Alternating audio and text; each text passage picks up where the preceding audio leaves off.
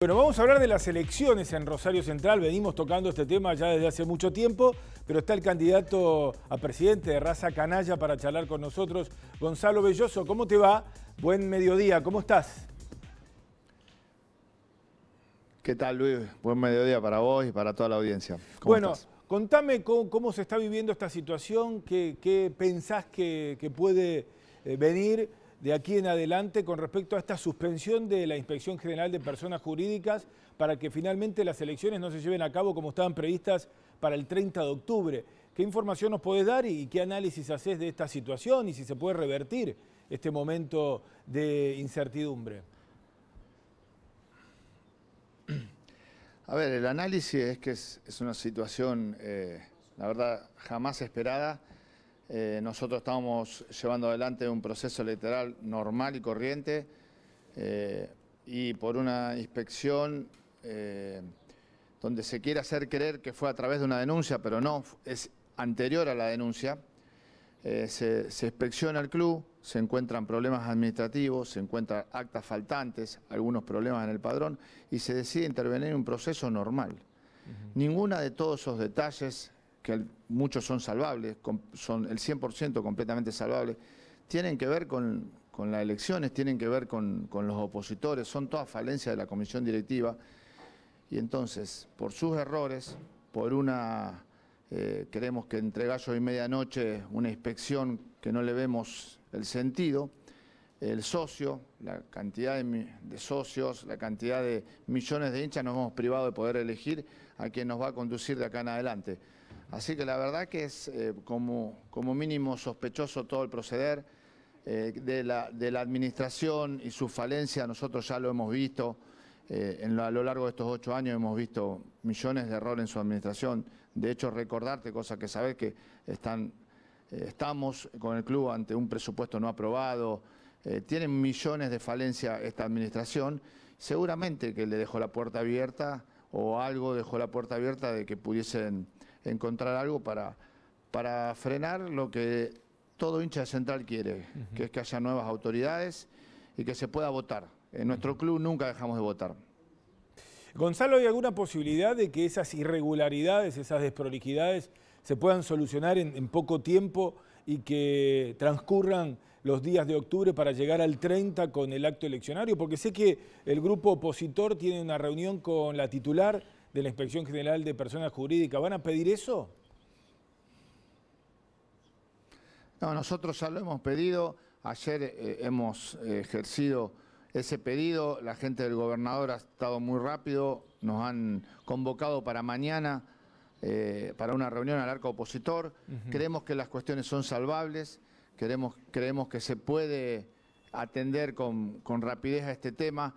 Nosotros el lunes a las 9 de la mañana ya presentamos los posibles arreglos que podría haber. Hoy entendemos que 50 horas después lo hizo la comisión directiva, sí. que el otro día, como nos dijeron, contamos de 10 abogados y 10 abogados tardaron 50 horas para hacer lo que puede hacer la oposición, que prácticamente somos, no tenemos los medios que tienen ellos, realmente vemos que no está el interés o el espíritu de solucionar esto. Pero bueno, tenemos mucha fe, a través de la reunión de mañana, de, la, buena recepción que tuvimos ante el gobierno de Santa Fe, poder encontrar salidas a esto, Luis. Eh, realmente el, club necesita poder elegir, necesita que gane alguien, si, fue lo, si la gente elige el oficialismo, bienvenido sea, todos apoyaremos y acompañaremos. Si es otra, otra autoridad, lo mismo.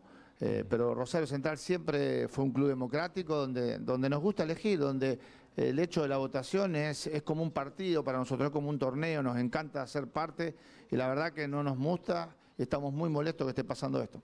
Eh, técnicamente, si la cosa no se soluciona, hablamos de 90 días, de esos 90 días que todos mencionan, para fin de, enero, eh, que ya se podría trasladar a febrero, todo ese periodo puede llegar a pasar, en caso de no llegar a un acuerdo, digo, ustedes con, con la gente del gobierno de Santa Fe. No, no, depende de nosotros, depende de la buena voluntad de todos. La verdad que si el oficialismo presentó y realmente tiene cosas para salvar, si todo el arco opositor presentamos, entendemos que el gobierno tiene que encontrar la manera, la solución, la medida para poder salvar esta situación. En el caso de sean 90 días es gravísimo para el club, es gravísimo para cualquier interés deportivo de seriedad. Eh, ningún jugador serio va a venir en un club con, con autoridades ilegítimas, ningún plan serio se puede construir arriba de eso. Eh, las ventas, las compras en manos de, gente que no tiene ninguna legitimidad en el cargo. Eh, la verdad que, bueno, sería extremadamente grave. Así que, bueno, esperamos que esto se pueda solucionar. Eh, y también está rondando un tema que esta situación de esta comisión directiva nos puede llevar a una intervención. Estas fallas enormes nos pueden llevar a una intervención. Realmente, la última vez que Central estuvo intervenido, terminamos en la B. Así que les pido, por favor, a esta comisión directiva que agote todo lo que pueda hacer para que Central no sea intervenido. La realidad es que Central es un club que puede cambiar autoridades, que seguramente las nuevas autoridades tendrán serios problemas inicialmente para conducir el club, porque si vemos lo que, lo que pudimos ver en su administración es paupérrimo, imagínense lo que veremos cuando, cuando agarre alguien el club. Pero bueno, acá hay gente con, con muchas ganas, con mucha capacidad, y, y el socio quiere votar, Luis, el socio quiere poder elegir. Hay un rumor que está dando vueltas que la AFA habría hecho algún tipo de presión apoyando un poco esta situación. ¿Tenés ese dato o no? No, la verdad que no tengo ese dato. No, me sorprendería, no entiendo por qué la podría ser algo así. La verdad que no, lo descarto, lo descarto de plano que pudiese pasar algo así. Eh, los clubes necesitan ser autónomos, libres. Por supuesto que estar adentro de la estructura de la AFA es muy sano, pero bueno, eh, si hay alguien que está pensando en darle continuidad a este proceso, está atropellando el sentimiento de un millón de hinchas, de un club enorme, del club más grande de esta provincia, de un club multicampeón, de un club campeón de, América. O sea, es una locura que alguien esté pensando eso, por eso la realidad es que lo descarto. Sí te digo, Luis, eh, que me sorprende escuchar pocas voces, me sorprende. Y me gustaría invitar, me gustaría invitar a, gente muy importante en nuestro club, me gustaría invitar a esta lucha. Eh, nosotros tenemos un ídolo como Aldo Poy, me gustaría que se sume, me gustaría que se sume Caferra, sus opiniones, son gente importante, que tienen palabra, que tienen un lugar importante en la sociedad. Me gustaría Lotuf. No sé qué piensa la agrupación Crece, me gustaría que hable el expresidente Broglia. Me gustaría Sefarati, que siempre nos tiene acostumbrado a, a unas descripciones muy interesantes en su Facebook, no dijo nada. Me interesaría la familia Rodena, la vicegobernadora, que es tan importante para nuestra provincia, que se manifiesten. Estamos ante un atropello.